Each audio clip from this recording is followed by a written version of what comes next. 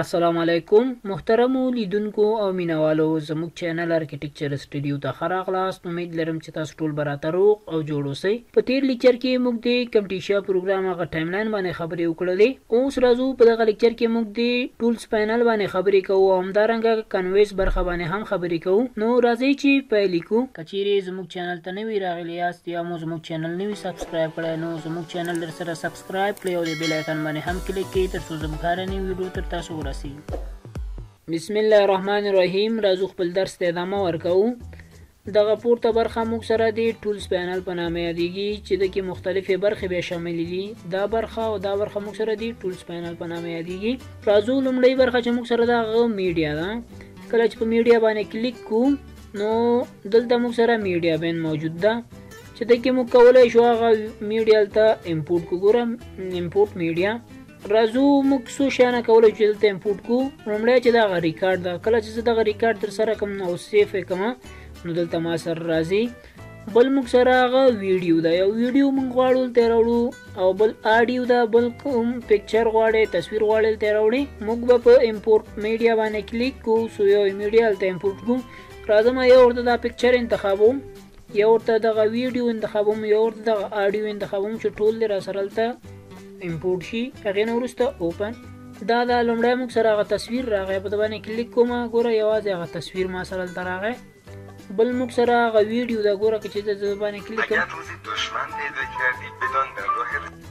دا دلته موږ سره ویډیو راغله بل آډیو دا که چې د دبانې کلیک کوم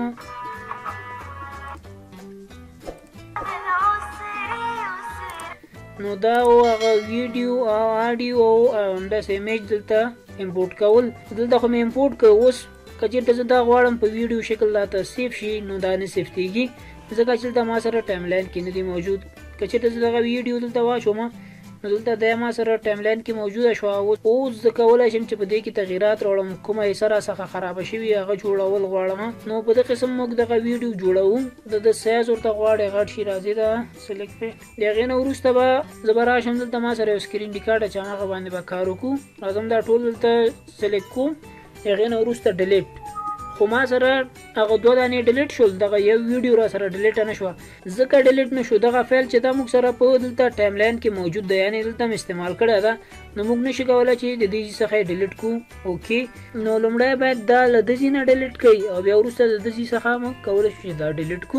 ښه اوس راځو دا میډیا بن برخه کې موږ سره یو دا سکرین ریکارډ د چې ما تر سره کړی او یو هم هغه پکچر د تصویر د چلته ما راوړی ګوره که چېرته زه پلی کوم السلام علیکم محترم اوریدونکو دغه په خپل پکچر د ریکارډ د هغه خالص ساوند ما اخیسته دا ریکارډ مې ته ډیلیټ کړی د غینه وروسته راځو ورپسې موږ سره لیبرری دا کچیر د زده باندې کلیک کما نو دا سه یو برخه د دې خلاصيږي چې دکې موږ سره مختلفې برخې موجودې دي اوس ایکنز دي دلته موږ سره غواړی یو چې شي ایکن دلته ما سره راشي زما په ویډیو کې دی اضافه شي راځم په باندې کلیک کوم چې دا بیا نور فولډرونه دي یعنی دا کې موږ سره ډېر ایکن نور موجودې دي اوس د مثال په ډول دغه بلډینګز برخه تر اعظم دغه بلډینګز مې په کار ده چې په ویډیو کې خپل اضافه کوم نو د مثال په لور کدا چې ته ضرورم دلته زه په ځای کوم نو په اتومات ډول دلته ما سره کنویز برخه کې راغی او په دا ټایم لاین کې هم موږ سره هلته اضافه کیږي اوس ویډیو دا دغه حصې د څنګه راځي دغه بلډینګ تصویر به هم راځي همداسې نور څه غواړئ تاسو په خپل دغه کې اضافه کې اضافه کولی شئ د هغې نه وروسته راځم دلته په دغه پیوبل باندې کلیک کوم داسې دغه د کارټون عکسونه دي سپی فلم دا خلک دی نو مطلب راځه ما داسې یو زموږ چینل ارکی راځه ما دا کچېرې زه پلی کوم دغه حصې ته چې څنګه راځي نو داسې یو د شخص هغه تصویر به ماته راشي یو کارټون نو په دې قسم زه کولی شم چې د دې څخه په خپل ویډیو کې استفاده ترې وکړم بیرته دا بندو نورې برخې دي موږ سره داسې که چېرې د باندې کلیک کوم داسې یو ډیزاین غواړي چې را دي شي ستا د په ویډیو کې نو مختلفې برخې دي موږ د لیبرټي نه راوړلی شو هغې را وروسته راځو انوټیشن باندې کلیک کوم که چېرې د باندې کلیک کوم نو داسې بعضې ټکسونه دي چې موږ کولی شو راوي وړو اوس د مثال په ډول دغه ویډیو دغه حصه کې موږ سره داسې د یو شخص عکس ده او دغه ویډیو کې دلته دی ما سره خبرې کوي نو داسې غواړم یو ټیکس دی اضافه شي مثال په ډول دلته یو ټیکس راوړم داسې د کې ورته تغیرات هم راوړل شو چې دا د پراپرټي برخه ده چې د باندې وروسته خبرې وکړو اوس په دغه قسم موږ کولای شو چې داسې یو ټیکس راوړو همداسې راځي دلته بعضې ویکټورونه دي موږ سره چې هغه هم کولی شو خپل ویډیو کې استفاده ترې وکړو لکه دا قسم زه دلته راوړم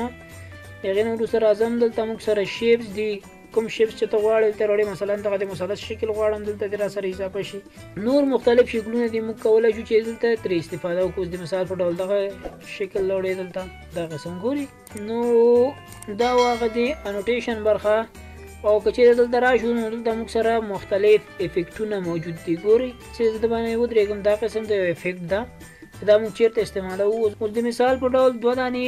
ویډیوګانې دي موږ سره یعنی دوه ریکارډونه دي ما تر سره کړي دلته ما سره شته که دې دواړه دلته قطع کم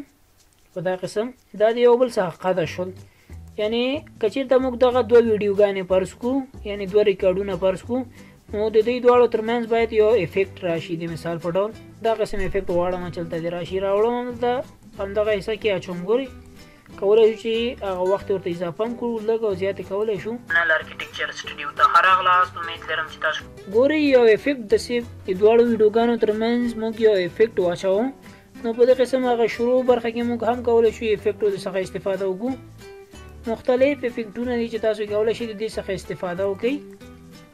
د هغې نه وروسته راځم په دا لاندې برخه کې موږ سره ټیکسونه دي غواړم دلته یو ټیکس مې لیکلی ده د مثال په ډول داسې یو ټیکس مې لیکلی داسې یو ټیکس مې لیکلی په ده باندې یو افیکټ اچوم راځم همدلته باندې کلیک کوم نو ګوري داسې را سره دغه ټیکس به راځي که چېرته زه دا باندې دا اپلای کوم دا ټیکس به ما سره همدغه رقم ته راځي ګوره همداسې لیکل کېږي مختلف افیکټونه دي چې موږ کولی شو د دې څخه استفاده وکړو د هغې نه وروسته راځم انیمیشن برخه باندې کلیک کوم په دغه برخه کې موږ کولی شو چې په دغه ویډیو یو برخه موږ زوم کړو دغلته زما د ویډیو پروګرام ویډیو دغه حصه کې زه غواړم چې ما سره دې دومره حصل ته نږدې شي ناظم هم دغه شی موږ کولی شو چې په ده باندې زومین کو یعنې یو انیمیشن یو حرکت خپلې صفحې ته ورکو د مثال په ډول دا که چېرته زه سې نږدې کوم ګوره صفحه ما سره حرکت خوري دغه حصه ما سره نږدې کیږي نو په اتومات ډول دلته موږ سره دغه دی ویکټور شکل راځي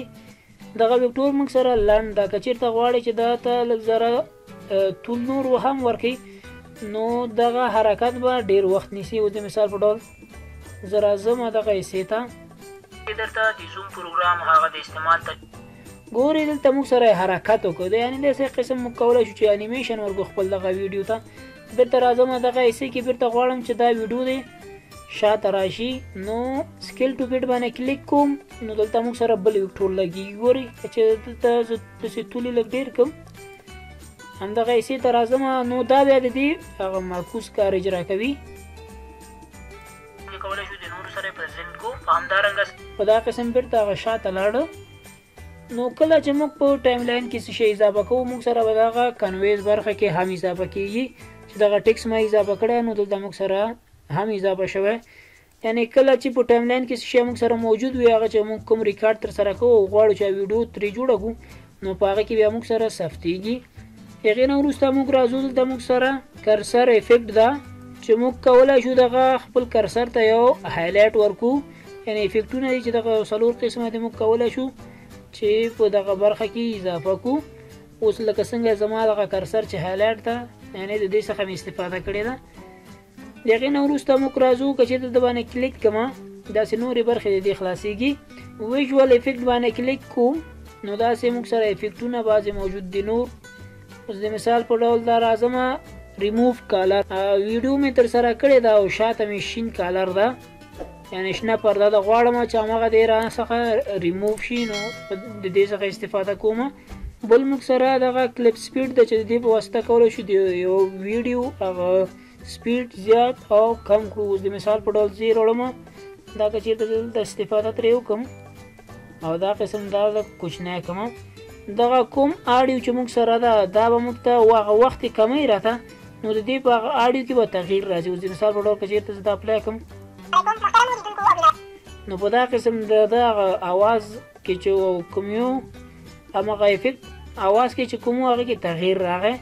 لازم دا بیرته تر ډیر رومن اوس به بیرته لږ خپل غادي حالات راغلی لیدونکو او مینوالو زموږ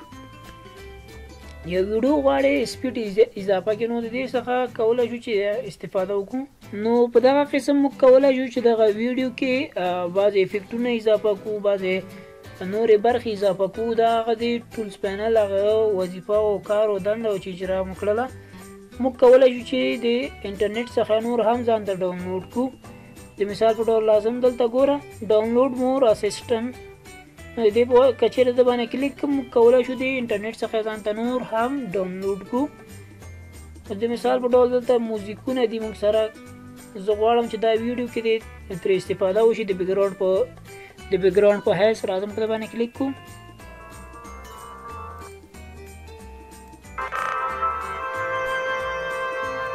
دا هغه موزیک دی چې همدغه کمپټیشا پروګرام خپل ځان سره لري غواړی دی انټرنیټ څخه ډانلوډ کی نو په ده باندی کلیک کی تاسو سره ډانلوډیږی د هغی نه وروسته راځو دا کنویز برخه ته چې دا موږ هم کولای شو چې د کی تغیرات راوړو لکه څنګه دغه فن په واسطه کولای شو چې هم دغه ټوله صفحه خو دی خو ورته حرکت ورکو د هغې نه وروسته راځم دغه بل چې د ما سره دا سلیکشن ده که چېرته زه د باندې کلیک کوم نو هغه دغه راته انتخابېږي هم دغه پکچر مال ته راوړی انزیټ کړی کنه ګوري دغه پکچر مال ته انزیټ کړی نو هم هغه مکمل فول سکرین یې نیولی نو که چېرته ته غواړې په ده کې تغیرات راوړی دا حصه هسې ورته کوچنی کوې نو دومره حصه به در سره راځي او نه غواړې بېرته راشه دا فټ که که چېرته د باندې زه کلیک کوم نو موږ سره دغه تصویر غواړي یو حصه ورته کرپټ کې اوس د مثال پر زه دومره غواړم ما سره د کرپټ شي نو په همدغه ټوله حصه ما سره موږ ټوله حصه د سی کرپ کړه همدغه همدغه یو دغه د کمپیوټر تصویر غواړم چې همدغه صفحه کې دی راشي نور دی را سره داسې کټ شي په دې قسم موږ کولی شو یو تصویر هم کټ کو یعنی خپل ویډیو غواړي یو حصہ نه غواړي چې په دغه کې ویډیو کې دې شامل شي نو کولای شي د دې څخه کټ کړئ کچې د باندې کلیک کو د دې هغه سایزونه دي اوس که 25 ورته انتخاب کوم نو شاته ځي او که 50 انتخاب کوم پر خپل لاده سره نږدې کیږي چې مختلف دغه مو کولای شو فیصدیانې څخه استفاده ترې وکړو نو دا زموږ د نن ورځې درس تر بیا ښه وخت د خدای په امان